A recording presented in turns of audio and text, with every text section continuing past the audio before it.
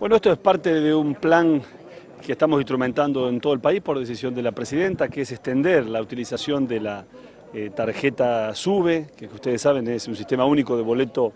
eh, electrónico que tanto éxito ha tenido en la zona del AMBA. Hoy tenemos 11 millones de tarjetas eh, activas, procesamos aproximadamente unos 400 millones de viajes eh, por mes y esta tarjeta no solo ha sido un instrumento para facilitarle la vida a aquel que toma el transporte público, ya que inclusive en la, en la zona del AMBA es multimodal, se integra y se utiliza para los trenes, para el subte, para el premetro, para el colectivo, sino que ha sido un instrumento fundamental para eh, que el gobierno disponga información fehaciente en relación a uno de los componentes básicos para la asignación de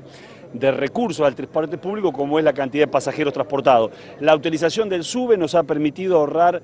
eh, unos 200 millones de pesos mensuales a partir de la instrumentación del SUBE porque pudimos tener un dato mucho más fehaciente y justo en relación a la cantidad de pasajeros transportados. Así que lo que estamos haciendo es extenderlos al resto del país. Hoy estamos en esta eh, ciudad de Villa Gesell donde el 70% de los que eh, vacacionan acá son del AMBA, así que disponen ya de la de la tarjeta eh, sube y de esta forma les va a permitir utilizar la misma tarjeta que utilizan a diario para moverse eh, de la casa de su trabajo o, a la universidad, donde sea, para moverse en este caso en la ciudad de Villa Gesell. Y en pocos días más estamos instrumentándolo en la ciudad de Mar del Plata. Ya está funcionando en la ciudad de Villa Gesell, estuvimos probando estos últimos siete días y hoy lo venimos a anunciar oficialmente. Es decir, esto no es una promesa, es un hecho concreto como los que hacemos nosotros a diario en relación a la gestión.